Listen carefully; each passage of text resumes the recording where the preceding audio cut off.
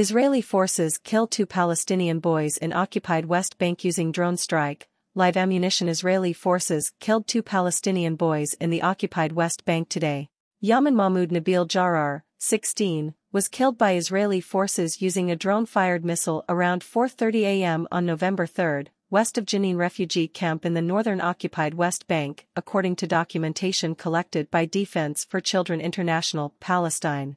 Yaman was allegedly throwing homemade explosive devices toward Israeli military vehicles and bulldozers that entered the area alongside Israeli special forces and reinforcements around 10 p.m. to conduct arrest operations in the Al-Hadaf neighborhood, west of Jenin refugee camp.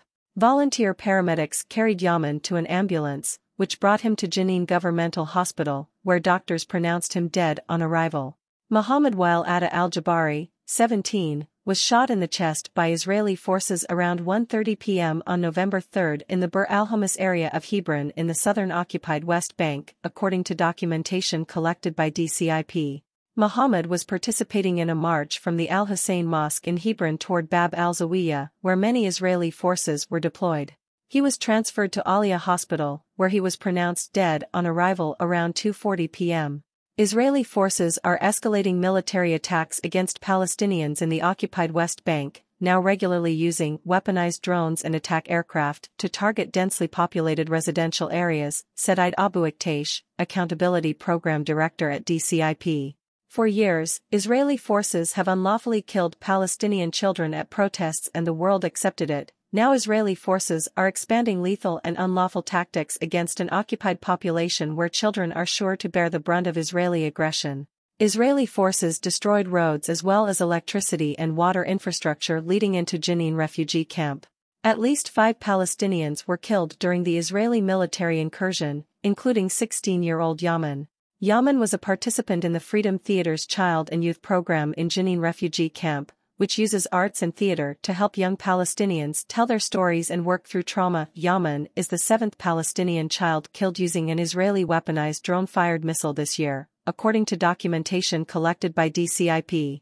Prior to the killing of 15-year-old Ashraf Morad Mahmoud al-Saadi in June, the last time Israeli forces had used weaponized drone strikes to target Palestinians in the occupied West Bank was during the Second Intifada in the early 2000s. Israeli forces have escalated military operations throughout the occupied West Bank in recent weeks, carrying out increasing numbers of search and arrest operations. 43 Palestinian children have been killed in the occupied West Bank since October 7, according to documentation collected by DCIP, when the Israeli military began a full-scale bombardment on the Gaza Strip dubbed Operation Iron Swords. So far this year, Israeli forces and settlers have killed at least 83 Palestinian children in the occupied West Bank, according to documentation collected by DCIP. Israeli forces and settlers shot and killed 72 Palestinian children with live ammunition, seven Palestinian children were killed in drone strikes, and four Palestinian children were killed by missiles fired from a U.S.-sourced Apache attack helicopter. At least 132 Palestinians have been killed by Israeli forces and settlers in the occupied West Bank since October 7, according to the UN Office for the Coordination of Humanitarian Affairs. Under international law, intentional lethal force is only justified in circumstances where a direct threat to life or of serious injury is present. However, investigations and evidence collected by DCIP regularly suggest that Israeli forces use lethal force against Palestinian children in circumstances that may amount to extrajudicial or willful killings.